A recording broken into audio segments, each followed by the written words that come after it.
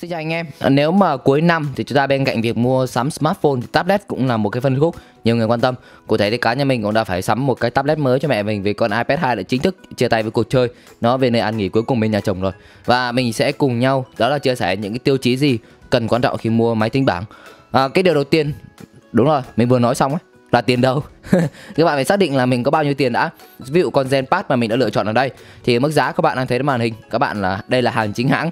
Và cái điều mà chúng ta quan tâm là khi mua máy, lựa chọn được sản phẩm rồi các bạn nên xem giá ở nhiều nơi. Hàng chính hãng thì yên tâm chất lượng là như nhau. Chúng ta chỉ cần xem xem chỗ nào bán mức giá tốt hơn hoặc khuyến mại như thế nào. Còn hàng sách tay thì chúng ta phải xem thật nhiều chỗ và quan trọng là uy tín yếu tố thứ hai đó là màn hình. Vâng. À, kích thước màn hình máy tính bảng là cực kỳ quan trọng vì nó phục vụ cho những cái mục đích khác nhau. Một người muốn mang máy tính bảng đi liên tục thì chúng ta nên lựa chọn kích thước khoảng 8 inch như chiếc Zenpad này là quá đẹp. À, cái kích thước của nó thứ nhất là tiện gọn khi chúng ta mang đi mang lại này không quá to giống như màn hình 9,7 hay 10 inch.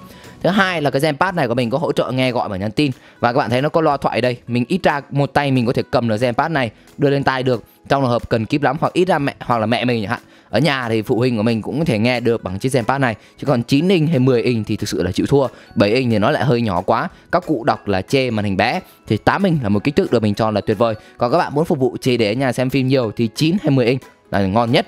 À, bên cạnh với kích thước màn hình thì chúng ta phải quan tâm đến chất lượng. Thì hiện tại mọi người sẽ có độ phân giải HD, Full HD hay là những cái độ phân giải cao hơn.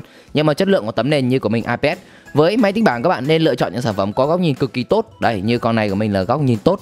Tại sao lại quan trọng? Vì uh, máy tính bảng thì chúng ta thường là dùng để xem tập thể hai, ba người cùng xem. Góc nhìn kém sẽ khiến cho những người ở xung quanh không xem được nội dung hiển thị. Đặc biệt các bạn muốn sầu ảnh vào dịp tết cuối năm này, thì thế nên các bạn phải lựa chọn chiếc máy tính bảng có màn hình hiển thị ngon. Như con này là màn hình có nó sự công nghệ IPS có góc nhìn tốt và độ sáng cao, dễ nhìn. Điều thứ ba, đó chính là về loa ngoài không phải tự nhiên mà Apple đi làm cái con iPad Pro mới có đến 4 loa. Nguyên nhân là loa là một yếu tố cực kỳ quan trọng sản phẩm máy tính bảng. Chúng ta xem phim, chơi game thường xuyên và đương nhiên là người dùng máy tính bảng sẽ sử dụng loa ngoài. Ít ai cắm tai nghe vào, chúng ta sẽ khó thao tác hơn trên cái chiếc máy tính bảng của mình. Nó không giống như smartphone là cắm tai nghe cho vào túi mang theo. Còn cái này thì chúng ta không thể làm như thế được thì ví dụ như là con Zenpad này, thì các bạn thấy là đây cũng là ảnh hưởng đến yếu tố đầu tiên nó ta, chịu khó săn khuyến mại. Con này đi kèm với lại một cái bộ bao da hiện nay đang bán vào dịp khuyến mại. Đợt trước may quá, mình chưa kịp có tiền mua và bây giờ mua thì nó lại đi kèm với bao da khuyến mại này luôn. Nó sẽ là một hộ, hệ thống âm thanh DTS HD ở hệ thống âm thanh này sẽ đi kèm với nhiều loa ở trong riêng cái bao da này cho trải nghiệm tốt khi nghe nhạc, xem phim và có thể nói rằng chất lượng âm thanh loa ngoài của cái này nhờ kết hợp với bao da trở nên cực kỳ ngon. Ngon hơn hẳn so với loa mặc định và kể cả so sánh thì nó ngang tầm với những chiếc loa Bluetooth mini mức giá vừa phải, các bạn thể kết hợp được. Thì các bạn nên mua những loại máy tính bảng mà phải có âm thanh loa ngoài to rõ ràng. Hai loa thì càng tốt nhé mặt trước thì càng đã. Hiện tại trong số các máy tính bảng mình đã từng sử dụng thì mình khá là hài lòng với âm thanh của iPad. Và thứ hai là âm thanh của cái loa này cái thứ tư là chịu khó đi săn khuyến mại.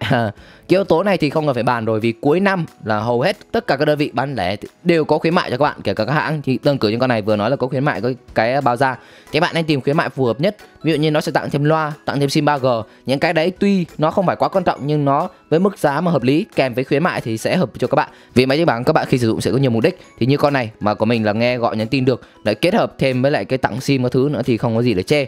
Và cuối cùng là các bạn phải để ý cho mình là máy tính bảng đấy có đi kèm với thẻ nhớ hay không? À, cái vấn đề này đó là nếu mà các bạn mua một máy tính bảng bây giờ khoảng 16 GB quá ít. 16 GB tại vì máy tính bảng toàn chứa phim và chứa game. 16 GB sẽ không đủ các bạn chứa dữ liệu. Nếu máy tính bảng Android thì sẽ có chứa thêm thẻ nhớ hoặc là cũng đôi khi một số máy không có. Và iPad thì cũng cũng là một trong những trường hợp không có khe cắm thẻ nhớ các bạn nên lựa chọn bộ nhớ cao. Và đó là những lời khuyên của mình khi đi mua những chiếc máy tính bảng này thứ nhất là quan trọng nhất là giá tiền để các bạn xác định được nhu cầu. Thứ hai là bạn nên lựa chọn về màn hình. Thứ ba là lo ngoài. Thứ tư là đi tìm một khuyến mại phù hợp. Và thứ năm là chúng ta hãy xác định bộ nhớ dành cho chiếc máy tính bảng của mình phù hợp. Đấy là những yếu tố khi mà mình đã đưa ra mua một chiếc máy tính bảng vào dịp cuối năm này. Anh em nghĩ sao thì mời chia sẻ thêm bên dưới. Và hẹn gặp lại các bạn trong các video lần sau.